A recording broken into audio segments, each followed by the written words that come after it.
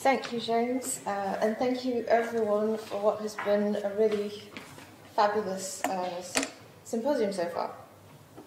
So, Nicholas and I uh, are going to talk to you about Digital Voltaire, uh, which is a single author uh, online critical edition currently under construction, and it's based in the first instance on the complete works of Voltaire, um, which includes roughly 2,000 works, um, including poetry, theatre, uh, history, scientific writings, fiction, philosophy, biblical criticism, polemical texts, alphabetical works, correspondence, fragments, notebooks, marginalia, and other attributed texts.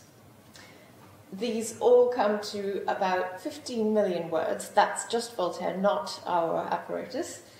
Um, in 205 volumes published between 1968 and 2022. As you can imagine, after 54 years, some of the early volumes begin to need some updates, but no one will ever print, much less buy, 205 volumes again for a second time.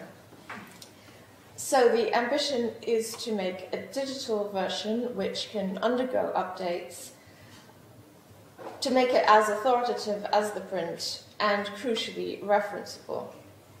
There's also in parallel the challenge of how to make it uh, sustainable. So I'm going to give you a whirlwind overview of the content and structure, and then Nicholas is going to address the question of the business model.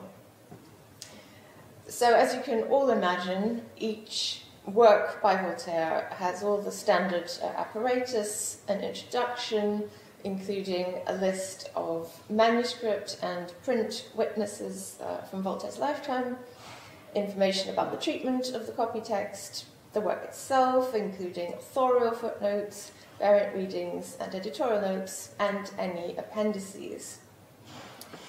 Here is an oh sorry that's yes that's what we were going to do. Um, this is an example of uh, a typical page. Um, so at the top under the running head, you can see the, the main text. Uh, underneath that, there are two uh, of Voltaire's own footnotes labeled A and B. Then we have variants, which are cued to line numbers in the text, and at the bottom, uh, editorial notes. Sadly, not all pages are typical. There are many, many atypical pages, um, which our, our development team refers to as the dossier of horrors. So, uh, for example, I mean, I could have given so many different examples. Uh, here we've got a, a poem uh, by Voltaire, uh, starting on the recto pages, and his own notes were so uh, lengthy and numerous that we had to put all his footnotes on the verso pages, and then, of course, everything gets its own variants uh, and footnotes. Um, here we've also got a, a facing pages thing going on. Uh, on the recto pages, we've got the modernized version of uh, uh, a manuscript, which is an unpublished draft. And on the verso, we've got diplomatic transcriptions, which goes as far as to include to, to point out how, how big the blank spaces were between different jottings. Uh, and a, a, final example, uh, some beautiful, very copious marginalia, uh, where we had to actually put things in three different columns because Voltaire had certainly written too much. So I think you, you might be beginning to see that we're headed more uh, towards an haute couture model rather than a, a pret-à-porter. Um, and it's a huge design and UX challenge, um, but digitization is also an opportunity to make this whole thing easier to navigate. So naturally, Cross references can become hyperlinks, tagged entities in TEI XML, uh, which involve the same kinds of soul searching that we've just heard about, um, can take advantage of linked open data possibilities, which then in turn can be used to create pages providing key bits of information at a glance, for example, of each work by Voltaire, uh, for people and events mentioned for works by other people that are cited. These would serve as miniature hubs within the resource, giving an overview of each work, person, place, and uh, allowing users to navigate between works in new ways. In reading mode, users, different users may wish to see different features as they read, search, and explore from a perfectly uncluttered presentation of only Voltaire's text to one that shows page numbers um, or also line numbers, editorial notes, uh, and variant readings. We are providing both uh, a sophisticated faceted search and browse options by title uh, or date browsing or searching by date, uh, you'll see we've got a fair number of zeros in there at the moment, um, requires a single year to be assigned to each work, which is not always as obvious as it might sound. Um, but the, the information page for a work uh, could show all the relevant dates associated with it. So, for its composition, which could be a range of years, uh, manuscript circulation, where applicable, and the first print publication, which in some cases can actually be after Voltaire's death.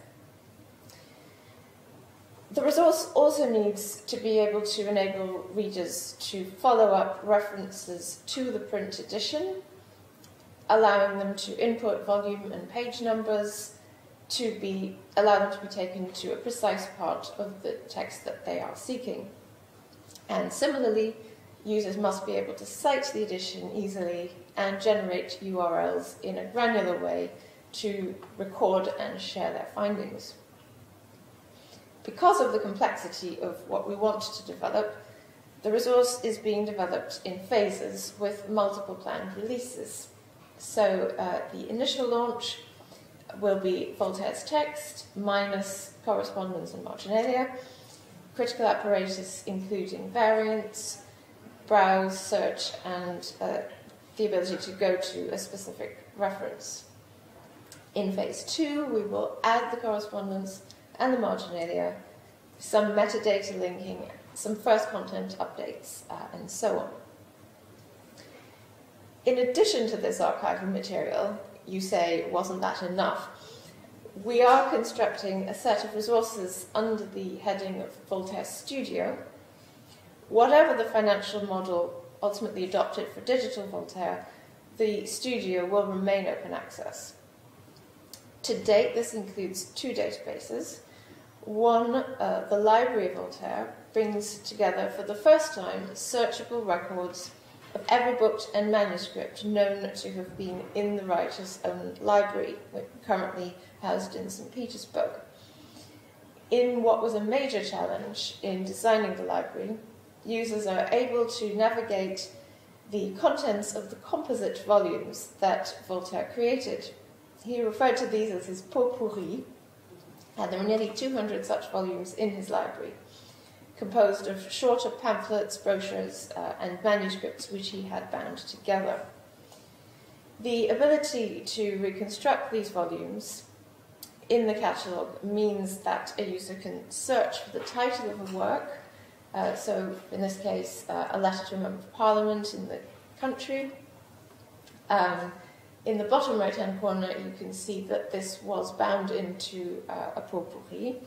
Uh, so, one can uh, click on that to look at the contents and then navigate to another work in the same collection, and so on. Alongside the library uh, is the catalogue of manuscripts relating to Voltaire a digital union catalogue pulling together international holdings of manuscripts by or about Voltaire, which we think will come to over 20,000. It pushes the boundaries of what a catalogue is, uh, with each record identifying multiple sets of keywords, uh, information on content, details of material aspects such as watermarks and or signs of use, location, and provenance. It also gives direct links to repositories and digitized copies when available. The same collections functionality uh, used in the library here allows readers to see the contents of bound volumes of manuscripts but also what we call conceptual collections. Uh, so uh, all the different manuscripts relating to a single work or letter by Voltaire, for example. The result is a rich resource that will significantly impact Voltaire scholarship, and in fact, it's already generating new discoveries. Once Digital Voltaire is launched, uh, links will be added, taking users from individual records in the catalogues to pertinent places in the works as well as in the other direction. There are further plans to expand the studio in other ways, including a biography, a timeline, and iconography. The considerable single author resource in question then will comprise um, the digital reimagining of an archival paper resource conceived to enable revisions and updates, alongside the studio, uh, made up of new born digital material and research tools. We anticipate that the interconnections between the different parts of the resource will not only make stimulating, intuitive reading and working experience, uh, but that they will generate new insights.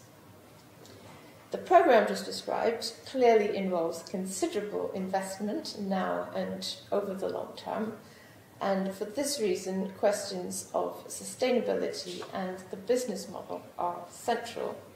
And Nicholas will talk about those now. Do um, just use the forward arrow key? Forward, Excellent. Thank you. First of all, thank you, James, for your organising this, this, wonderful meeting and for your warm hospitality to James and all his colleagues. Um, well, a project as large and ambitious as the one that um, Gillian's just been outlining um, obviously poses huge challenges. How do we fund it, obviously, but also how do we connect it to the readers that it, that it deserves now and in the future? Um, And you know how it is when you apply for funding for any digital project, the, whichever the body is you're applying to, they always have two criteria. One is sustainability and one is open access. And they never quite come clean. That the two, of course, exist in um, uh, exquisite sort of contratensions. Um, so we've got to think about this. We sold the 205 paper volumes in the traditional way. We sold these books to university libraries, and that's the model the Voltaire Foundation has had uh, in all its existence. So the question we're now facing is how, what do we do with this digital model? We want it to be, as far as we can, as sort of authoritative as the paper edition. We don't want it to be seen as a digital spin-off. We want it to be, in some ways, paradoxically, to supplant and replace the paper edition. We want it to have that sort of authority. So how do we finance it?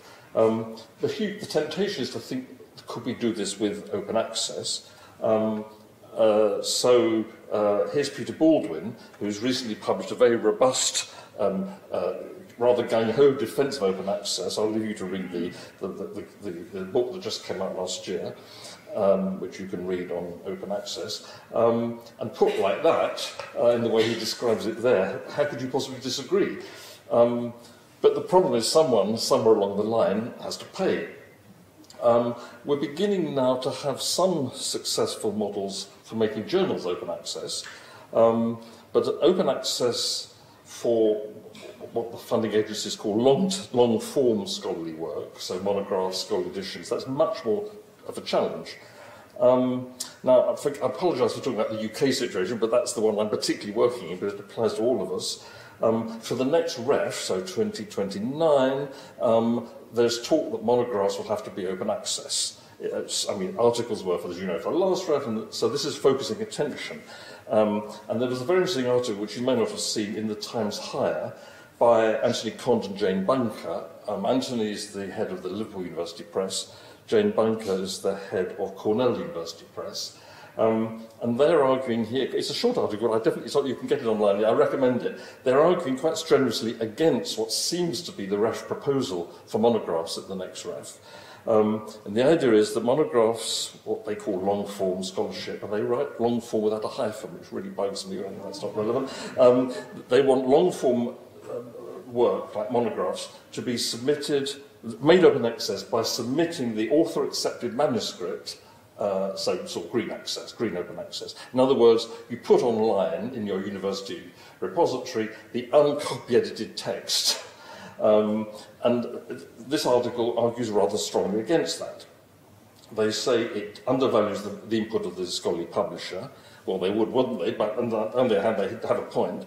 And they argue, I think persuasively, that it creates a divide between different institutions. There'll be, in the UK context, there'll be some institutions that can't afford to buy the book, so students will rely on the inferior version, whereas the posher institutions will buy the book and have, the, so have effectively a different product.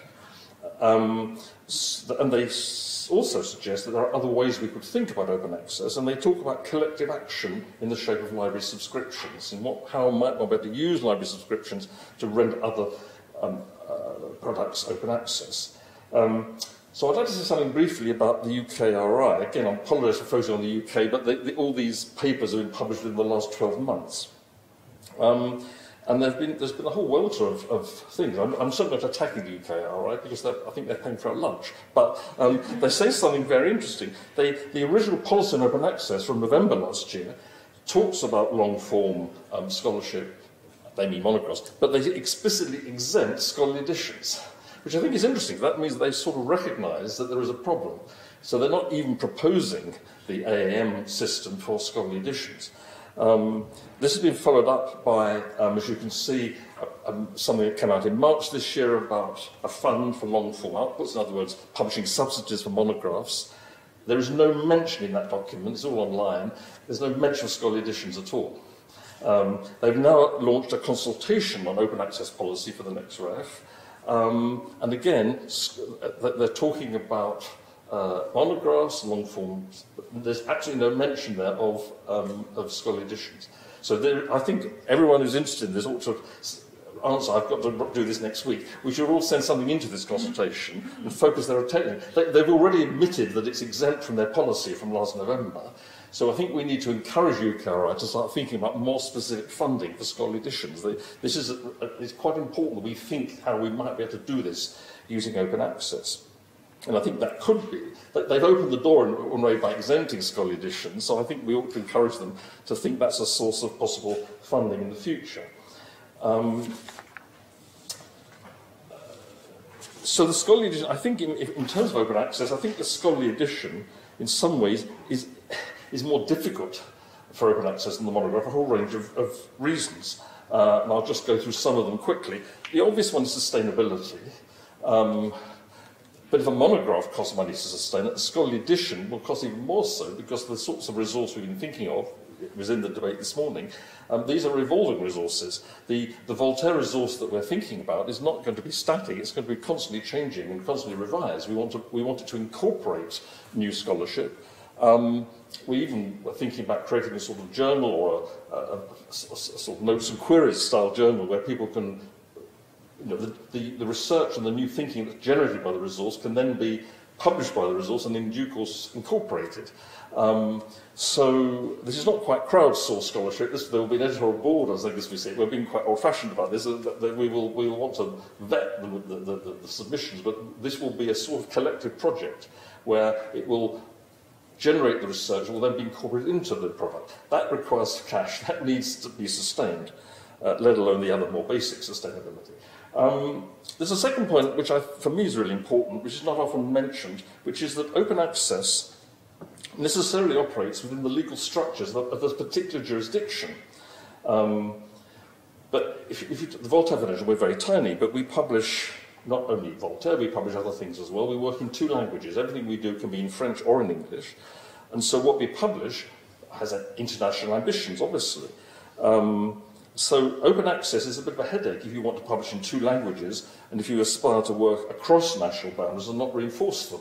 So you know, it's, it's all very well to have open access in the UK, but how would that work in, in other countries? Well, you can see how the, the, the funding issues can be complicated.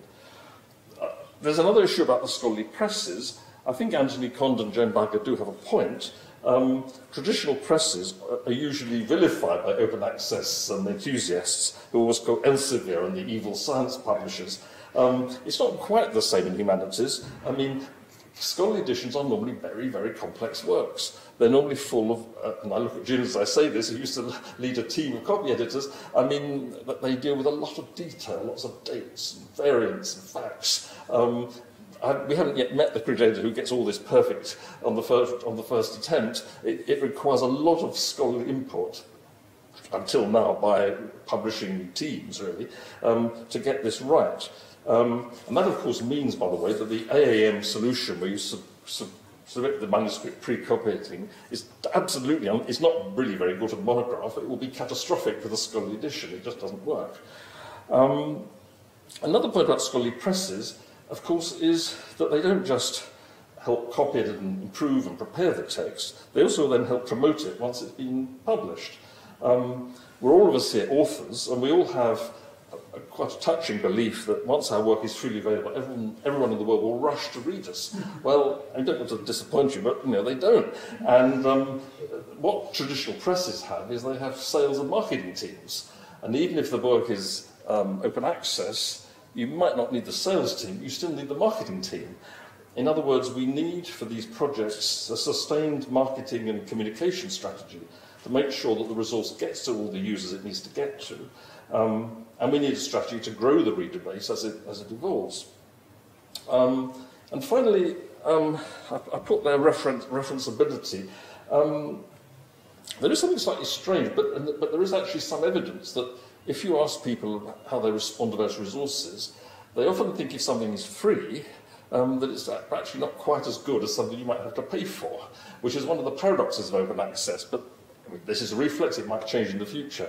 Um, but if we wanted to promote Voltaire as an open access edition, um, we somehow need to promote the idea that this is as, has the same heft as the paper edition, or actually it's a bit like the New Oxford Shakespeare. It, this will, the digital edition has the name of Oxford behind it and, and the name of Shakespeare behind it. So we need to promote the digital edition as, as having the heft of the authoritative edition, the edition that you quote in the footnotes. Um, that sounds like a pedantic detail, but I don't think it is. And we haven't quite got to the stage where scholars are all confident. I mean, after all, not all scholars are so keen on DH as we are. We want people to have the confidence that the digital edition is the one that is referenceable. Um, and that is, paradoxically, that is also a challenge for open access. Now, um, how will we do this in the case of Voltaire? Well, the the sort of cowardly solution would be to do with the digital what we did with the paper edition and to sell it. We could go to University Press and we could ask them to, some presses will sell um, resources that they didn't produce themselves. Um, we did it with Electronic Enlightenment over 15 years ago. The VF developed it and we sold it through OUP and it still sells through OUP and it makes a profit which employs the, the staff who run it. So there is that traditional model, but it's not open access. Um, the sort of ideal solution would be to make the whole project open access. But to do that, it would need some very innovative thinking, um, and it will probably need a donation from a, a, some charitable or fund, some foundation uh, to, to at least enable the thing to be set up. Um, but there is there, there are examples. So, for example, um, not, examples not from yet from uh, scholarly editions, examples from journals. Um, Liverpool University Press, for example, in the UK, is currently, I think, one of the leading presses that's looking at new ways of, of, of producing open access. And they use something called the subscribe to open model, S2O, where you use the existing subscriber base of one product to flip, that's the word they always use, to flip a journal and make that open access. So you say to librarians, if 200 of the world's leading libraries continue to subscribe to this journal, uh, we will make that, in addition, freely accessible. So it's a sort of deal that appeals to the librarian's sense of um, communal honour. And actually, it does seem to work, and Liverpool are in the process of flipping a number of quite major journals, most recently French Studies, which is the top French literature journal in, in Britain. Um, so whether one could do something like that with the Voltaire edition it's something i am exploring, but it does need some sympathetic foundation to, to help you bring about the transition. Um, in the short term, uh, at least a compromise will be to, to do a sort of hybrid, a sort of hybrid approach. So I've given you there the, the model that, that Gillian was just explaining. Um, one thing we're thinking about is whether the fully digitized print edition, which you've got on the left, could be sold on subscription through a publisher. That would give us some income that would help sustain, well, would help pay some salaries sustain the product going forward. But we will make freely available um, well, first of all, the Voltaire Studio, that's to say all the complementary resources that weren't in the print edition, but which in future are going to be connected to the print edition, including um, the, the catalogue of the library and the catalogue of manuscripts. Um, and also we might give away, I think, um, freely, the, the plain text. So you would have the plain text, which is 50 million words, longer than the Bible. Um, all that will be free, but people would pay to have the, the, the, the um, all the scholarly apparatus and the, the ability to search among it, which of course is a very powerful research tool. So that's a possible hybrid model. It's, I'm not, as you can probably sense from the way I'm presenting it, it's not totally satisfactory, but it would be a way of having an OA element into a, into a, into a business model. Um, I think, to conclude, I'll say something very simple, which is that scholarly editions matter. They, they, they don't make up, obviously there are two ways of thinking about it. We can have a passion about a particular author or a particular text and want to make our edition. Um, overall, scholarly editions may not make up a very large percentage of research publications in literature and history, but actually high-level, authoritative, reference, referenceable editions are absolutely fundamental to great humanities research. Just take that last talk about that wonderful medieval Irish text. Um, obviously, a new edition there is going to be really very powerful in actually creating new thinking about medieval literature. Um, so if we can get this right, open access definitive editions will be a really powerful stimulus to the best research in the humanities. And that's an argument we could use with the UKRI and other equivalent funding agencies to say this is something that they should help support. Um, I, I at the beginning, I quoted Peter Baldwin, um, and he was the great pioneer of open access. Um, his ideal of knowledge as a global public goal is one that go, actually goes back to the Enlightenment. He doesn't say that, but it does go back to the Enlightenment, what we used to call the age of Voltaire.